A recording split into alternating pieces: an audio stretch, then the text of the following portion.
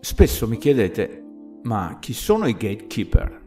Wikipedia dice, il termine gatekeeping è stato ampiamente usato per descrivere il meccanismo con cui avvengono le scelte nel lavoro mediale, specie le decisioni circa il lasciar filtrare o meno una particolare notizia tramite i cancelli di un mezzo di informazione. Facciamo un esempio pratico. Se dedico tutta la mia vita per divulgare che non siamo mai andati sulla Luna e non dedico mai nemmeno mezzo secondo alle enormi gaff, errori, aberrazioni, montaggi in CGI che ancora oggi, dopo oltre 53 anni dal presunto sbarco sulla Luna, fanno gli astronauti, beh, è palese che sono un gatekeeper.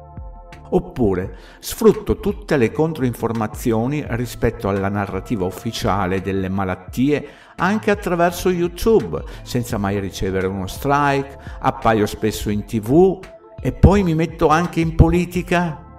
Beh, è palese che sono un gatekeeper. Ricordo fra le molteplici playlist a disposizione che potete allietare i vostri momenti prendendo visione delle comiche degli pseudo astrononauti, gustandovi la playlist NASA astrononauti ma attori. Oggi sono qui perché di tanto in tanto si parla di Uri, Na, nello spazio. Non va bene farlo e vi spiego perché. È possibile per una bella mente raccontare ad un presidente che beve urina e che berla non è poi così brutto come sembra?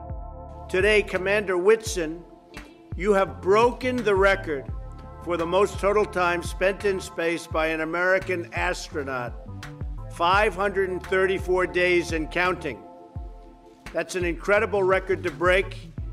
And on behalf of our nation and frankly on behalf of the world, I'd like to congratulate you. That is really something. And I'd like to know how does it feel to have broken such a big and important record?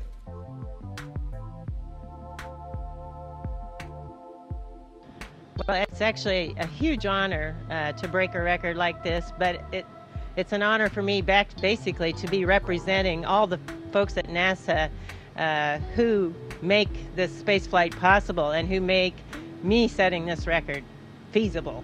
And so it's a very exciting time to be at NASA. Uh, we're all very much looking forward, as directed by your new uh, NASA bill.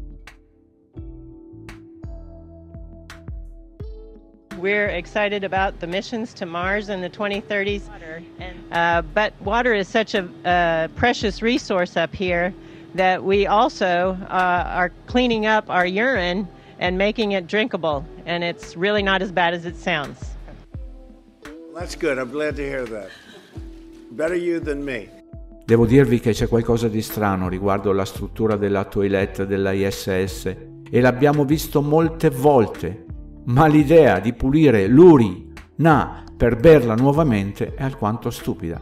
Ma veramente, è talmente stupida per una astronauta donna come Peggy, che ha fatto un sacco di passeggiate spaziali e che ha battuto anche questo record mondiale, 53 ore e 22 minuti di passeggiata spaziale.